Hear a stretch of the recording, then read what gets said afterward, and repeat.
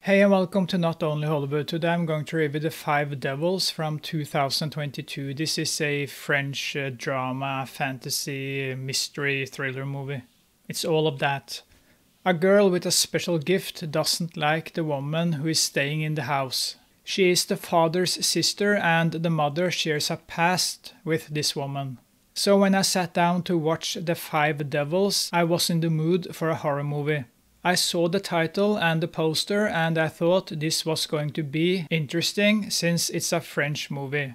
But is The Five Devils a horror movie? Let's find out. So the first half hour feels like a horror mystery movie with a young girl who can smell things like a dog.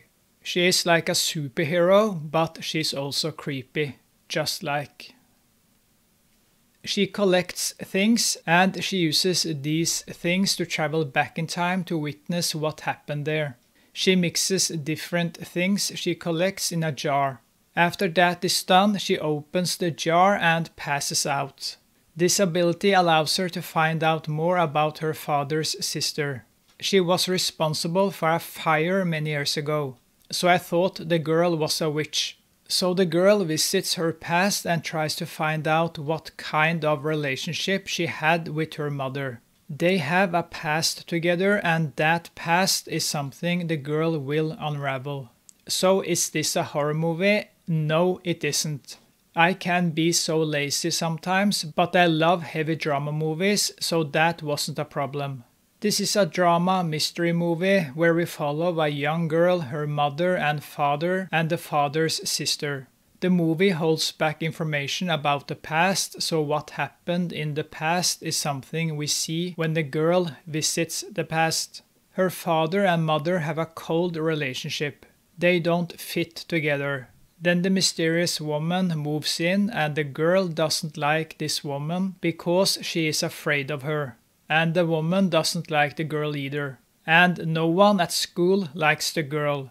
So the whole town hates these two freaks. The story is interesting, but the execution could have been much better.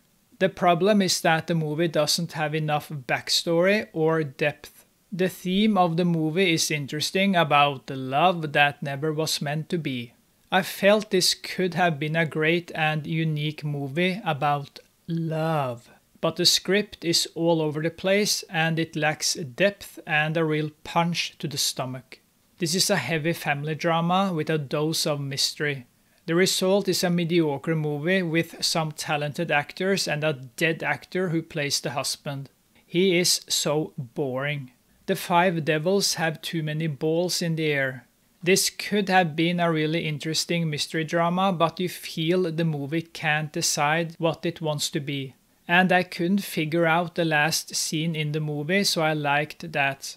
From 1 to 10, I give The Five Devils a 5 out of 10. Thank you for watching, and I'll see you next time. Sleep well.